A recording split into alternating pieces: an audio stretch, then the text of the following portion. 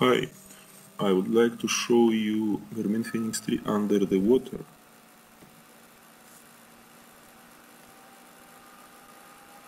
I want to start open water swimming activity. I have Mio Link heart rate monitor.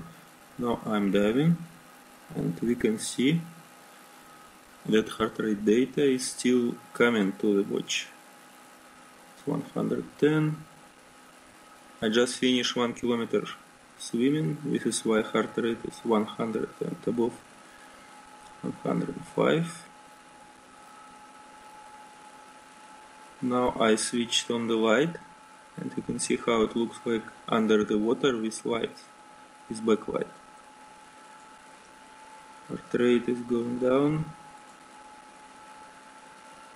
Now I started the activity, it's not in the water and now I am diving.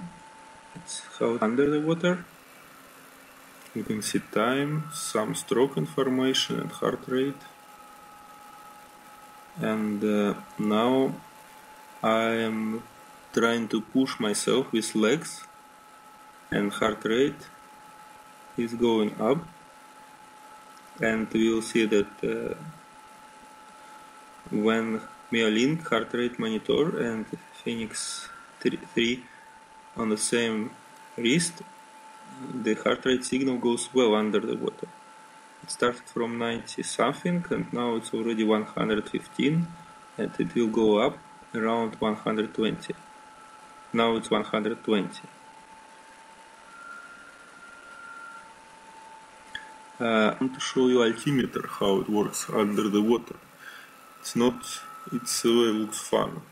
Before it shows 70, around 70 meters, but under the water it dramatically goes down, minus 180, minus 200 something.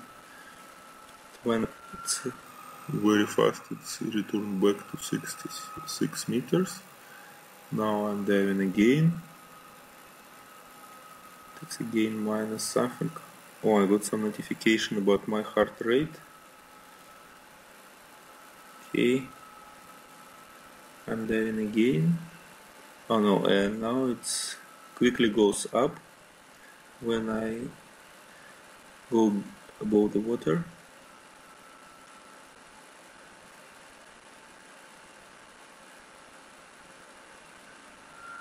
Okay, I'm going to try to dive again.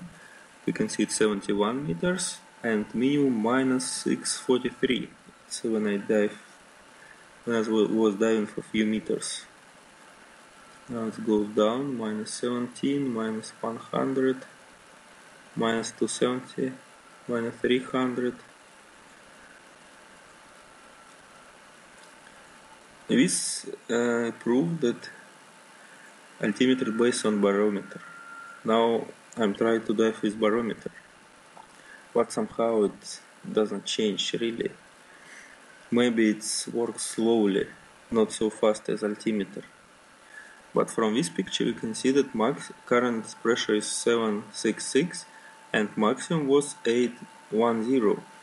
810 it's most probably when I was something like 3 meters under the water.